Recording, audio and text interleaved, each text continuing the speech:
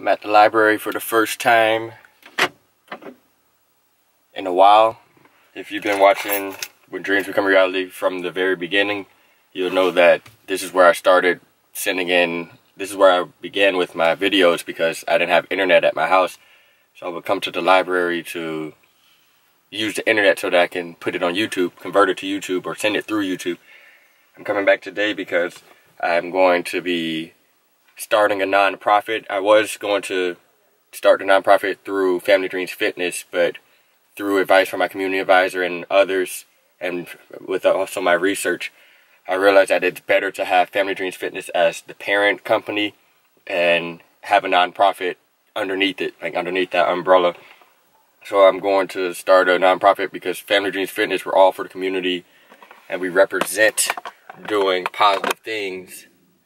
So it would be great to have an attached nonprofit to it so it would be easier to do both things without there being any like cloudy lines or gray lines. So if somebody's donating money to the, the nonprofit or the charity, they know those proceeds are going directly to what we're saying rather than giving Family Dreams Fitness the money and then it be in the gray as far as are they using that for personal money or are they using it for the cause. Now I have two separate things where if you're supporting Family Dreams Fitness, this money is going towards the business. And then if you're supporting the nonprofit, which I'll announce the name later, at another time, it will be going towards the nonprofit.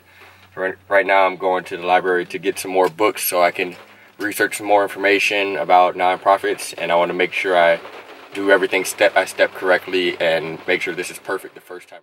This library trip was a success. I ended up getting a book um, by one of the hosts on Shark Tank, Daymond John, his book, The Power of Being Broke.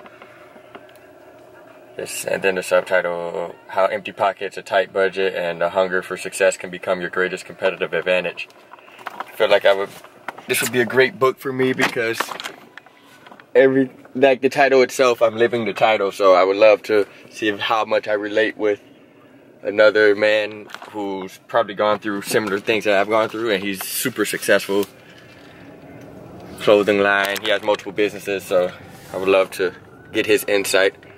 I like learning from other people's experiences, success and failure.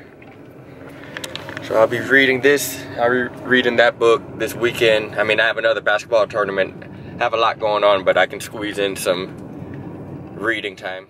Now, after leaving the library, I have about an hour and a half to get to my client's house in Pembroke Pines. They will train them, and I think today is also payday, so that's good. It's always good to get paid. And then I'll have some time to read the book. Right now I'm on my way to the second tournament in two weeks for the Terra Wolves for our basketball team. We're uh, playing at a tournament in, at Everglades High School, which is in Miramar in Broward County.